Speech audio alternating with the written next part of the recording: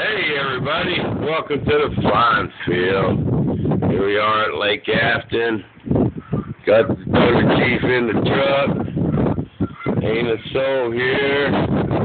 Waiting on Mr. Balcom to show up before we could even load it. It's kind of gusting. They said 15 to 20 on the news this. Here's the windsock.